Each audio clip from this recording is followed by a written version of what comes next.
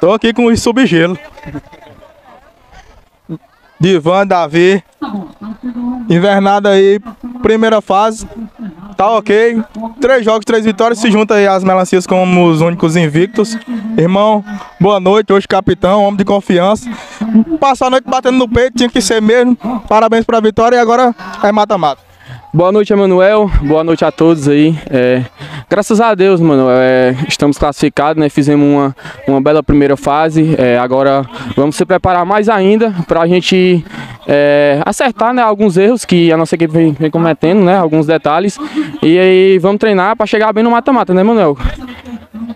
Tem não um abraço pra Faguinha, não tem nada. Tem não, é resenha com Faguinha, é resenha normal, né? É natural do jogo, é. Já falei com ele ali, dei um abraço nele, já, já tá tudo ok, foi só resenha mesmo. Não, se não tiver a resenha, não, não tem. É, se não, não tiver resenha, não tem. E, e principalmente a galera tá, pegando, tá levando muito pro coração. Se não tiver essa resenha, não, não tem o porquê do, do- da emoção do jogo, né? Irmão, tamo junto, viu? Boa sorte aí no mata-mata. Divan, tamo aqui, irmão. Já falei com o Davi, agora eu vou falar com você.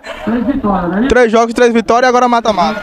Boa noite, Caju. Boa, noite a todos. É, mais importante é que o trabalho nosso está sendo recompensado, né? né? Só nós sabemos muitas críticas, muitas brincadeiras, é o time da cachaça e tudo, mas nós estamos só calados, super silêncio, estamos trabalhando na nossa, cada um de nós está fazendo seu esforço máximo e os frutos estão sendo colhidos. O mais importante é isso.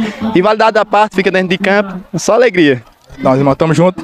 Boa sorte aí no mata-mata. Falou conosco aí o Davi e o Divan. Essa entrevista foi em nome da Prefeitura Municipal, do prefeito Tairo Mesquita, de Lopes Mota e de Dr. Anderson Juan.